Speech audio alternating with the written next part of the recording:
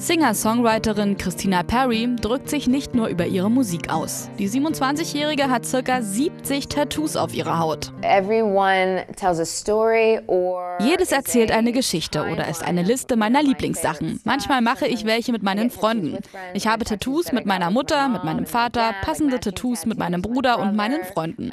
Ich habe auch wirklich alberne Tattoos, die gar nichts bedeuten. Aber ich habe auch wirklich besondere. Es ist für mich eine Art, mich auszudrücken it's just a form of expression for me that I'm in love with, yeah. Ihr neuestes Tattoo ist übrigens ein Cheeseburger, angeblich ihr Lieblingsessen. Eine eher musikalische Verewigung gibt's dann wieder auf ihrem neuen Album, das Anfang März rauskommt. Test, test, one, two,